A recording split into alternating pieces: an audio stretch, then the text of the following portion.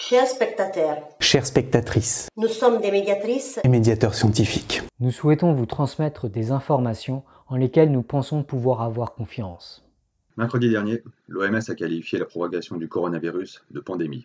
C'est une situation inédite qui nous semble justifier notre mobilisation exceptionnelle. En ce moment même, de par le monde, des milliers de personnes infectées par la maladie Covid-19 sont en train de se battre pour leur vie. En Chine, le coronavirus a déjà causé des milliers de morts. Et si sa propagation semble aujourd'hui maîtrisée, cela n'a été qu'au prix de mesures de confinement très fortes. Dans le reste du monde, et particulièrement en Europe, sa progression continue à un rythme élevé. Dans certaines régions parmi les plus touchées, les médecins sont parfois contraints de choisir quels patients soigner. Et quels patients ne recevront pas les soins adéquats faute de ressources humaines et matérielles suffisantes Il semble urgent d'éviter que de tels dilemmes traumatisants se posent également à de nombreux autres médecins et familles. Certes, individuellement, vous qui regardez cette vidéo n'allez probablement pas mourir du coronavirus. Vous n'allez même probablement pas en souffrir directement. Cependant, à moins de prendre dès à présent des mesures drastiques pour réduire la propagation du virus, vous risquez de le transmettre de proche en proche à votre insu. Même si vous ou vos enfants n'avez pas de symptômes, il y a un risque que vous soyez infecté.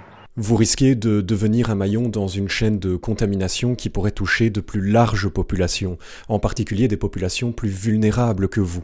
Or, ces populations auront besoin de soins intensifs. Et leur traitement pourrait conduire à une surcharge des services sanitaires et hospitaliers. Ce qui rendrait encore plus difficile l'accès à des soins adéquats.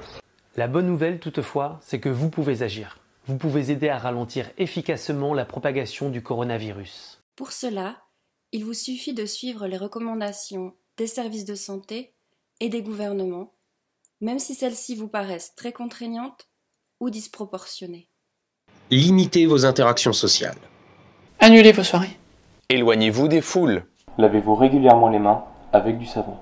Ne serrez pas les mains des autres. Et ne les embrassez pas. Toussez dans votre coude ou dans un mouchoir jetable.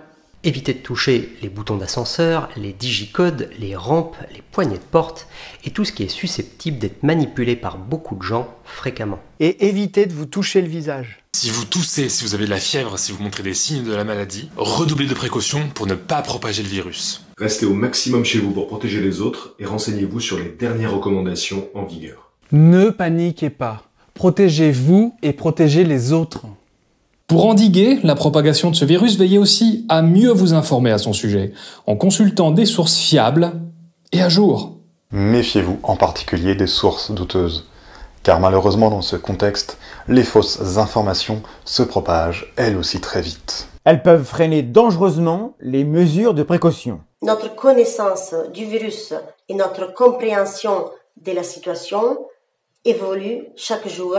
Grâce au travail monumental des scientifiques et des agences sanitaires. Tenez-vous correctement informé. Nous vous invitons notamment à consulter les descriptions de cette vidéo qui liste de nombreuses ressources de vulgarisation ainsi que des ressources d'autorité reconnues. Enfin, vous pouvez contribuer plus encore en relayant cette vidéo. Et en encourageant vos associations, vos entreprises, votre entourage. À eux aussi de prendre les mesures de prévention adéquates pour freiner la propagation du coronavirus. Le coronavirus est un défi qu'il nous faut relever collectivement. Nous comptons sur votre support et votre aide pour limiter ces dégâts Et revenir aussi vite que possible à une vie plus sereine.